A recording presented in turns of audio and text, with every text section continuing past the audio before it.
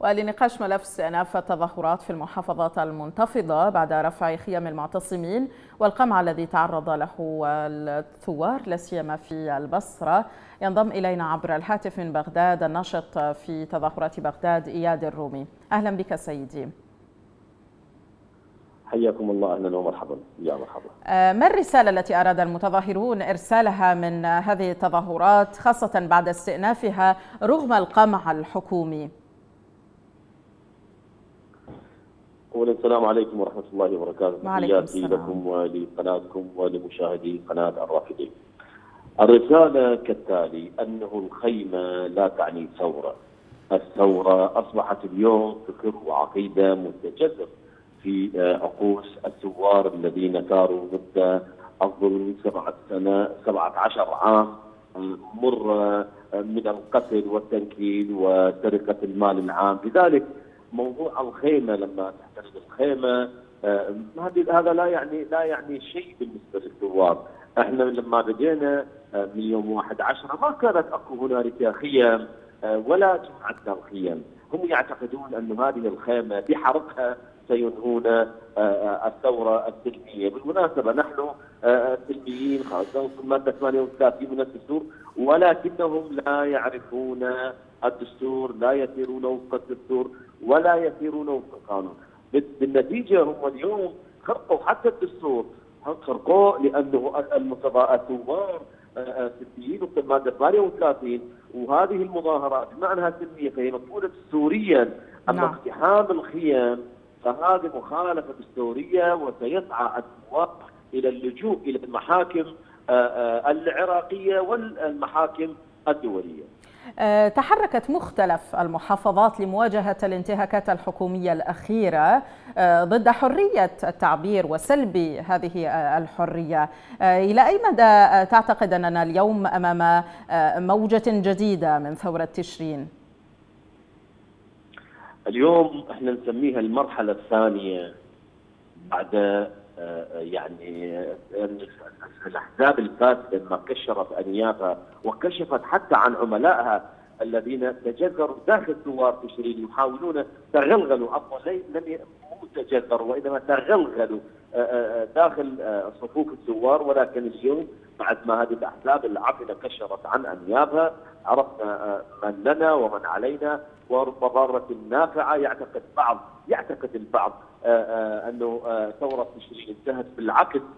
ثورة تشرين الآن هي في المرحلة الثانية اللي دامت أكثر من سنة، اليوم هذه المرحلة التي لا رجعة فيها، أخاف يعتقدون أن مثلا في بغداد أو أو أي مكان في المحافظات في البصره في الإمارة في ذيقار لما تحترق خيمه يعتقدون انه هي إنهاء للاحتجاجات، نحن قلناها في بغداد. ان ان ان قمعت ساحة التحرير فسنجعل بغداد كلها ساحة للاحتجاج، اذا حرق الخيم خطأ. كبير جدا تقترفه الحكومة اليوم لأنه كانت المظاهرات والثوره محصورة في مناطق معينة مثل بغداد في ساحة التحرير وفي الحقوبي في ذيقار وغيرها ولكن اليوم لما لما تقمع هذه الأماكن ستنتشر الثوره ليست في الحقوبي فقط وإنما في كل ذيقار وليست في ساحة التحرير فقط بل في كل بغداد.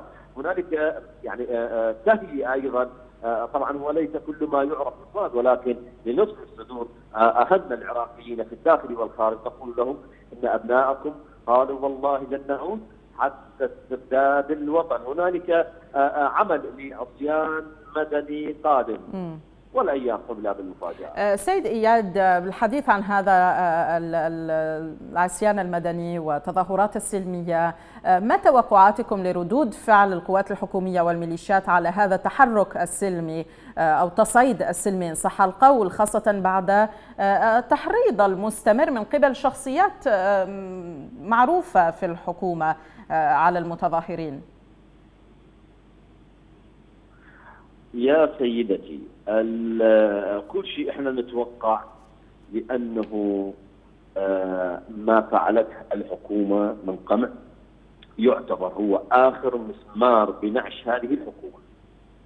آخر مسمار يدق لنعش هذه الحكومة التي لم نرى منها أي شيء إيجابي على أرض الواقع فقط وعود ووعود غير صحيحه اليوم اليوم الناس الحكومة هذه يعني تحارب الناس حتى في أرزاقها حتى في في رواتبها الشهرية. حتى الآن الناس ما مستلمه رواتب.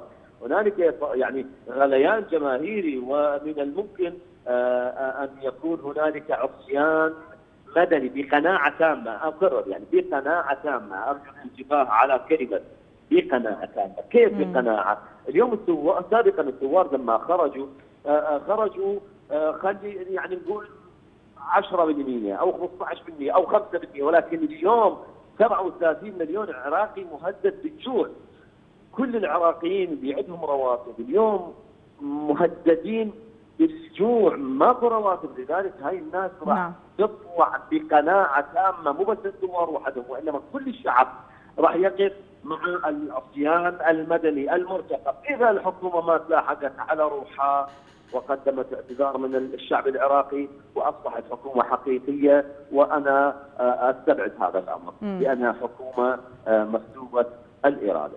كان هنالك تصعيد كبير في البصرة تحديدا حيث أكد ناشطين هناك بأن القوات الحكومية استخدمت قوة مفرطة لم يسبق للمتظاهرين أن رأوا مثلها. على ماذا يدل ذلك؟ نعم.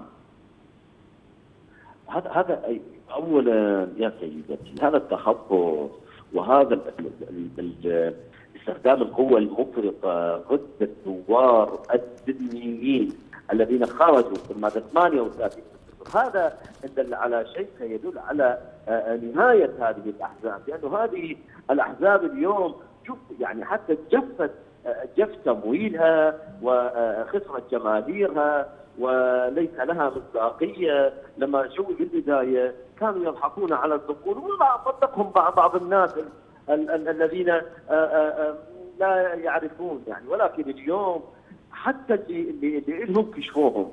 انتهى موضوعهم، موضوعهم اليوم هو التخبط والتحرك الأخير لهم. يحاولون أن يقمعون هذه الثورة ولكن هذه الثورة لن تهدأ حتى استرداد العراق العراق العظيم.